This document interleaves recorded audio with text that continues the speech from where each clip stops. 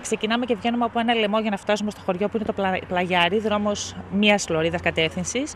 Μπαίνουμε σε ένα κομμάτι του δρόμου, ο οποίος είναι επαρχιακή οδό, βέβαια, δεν δικαιολογείται να είναι δρόμος ταχείας κυκλοφορίας. Ωστόσο, σου δίνει την, ε, την αίσθηση ότι μπορείς να αναπτύξεις μεγαλύτερη ταχύτητα και καταλήγουμε πάλι στην είσοδο του χωριού σε δρόμο μία ε, λωρίδας κυκλοφορίας. Τουλάχιστον 4-5 σοβαρά το χρόνο, εδώ και μια δεκαετία. Με θύματα, εγώ πιστεύω ότι έχουν σκοτωθεί 10 άνθρωποι. Αν δεν έχουν σκοτωθεί 10, 8. Οι οδηγοί αναγκάζονται να παρανομούν, δεν υπάρχει άλλος Αναγκαστικά παρανομείς. Αναγκαστικά δεν μπορείς να κάνεις. Δηλαδή, αν πάω να βάλω στο βενζινάδικο βενζίνα και θέλω να γυρίσω επανομία, πού θα γυρίσω; Θα κάνω παρανομία. Δεν μπορώ να πάω στο πλαγιά να γυρίσω, να κάνω 6 χιλιόμετρα. Ο δρόμος εξυπηρετείται από αστική συγκοινωνία. Ε, καταλαβαίνετε ότι υπάρχουν κατοικίες αριστερά και δεξιά, πέρα από τις επιχειρήσεις.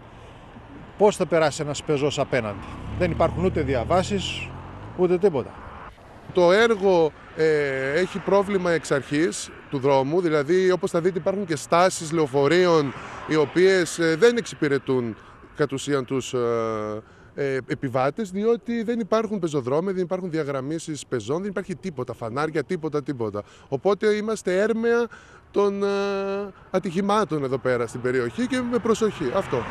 Ακούγεται ότι θέλουν να βάλουν μπάρες. Αυτό δεν είναι σωστό. Είναι πρόχειρη λύση που θα μείνει έτσι, γιατί ό,τι προσωρινό γίνεται και μόνιμο, διότι θα πηδάνε τις μπάρες οι απέναντι, αυτοί που είναι με τα πόδια που θέλουν να πάνε στη στάση κτλ. Και, και θα γίνονται άλλου είδους ατυχήματα.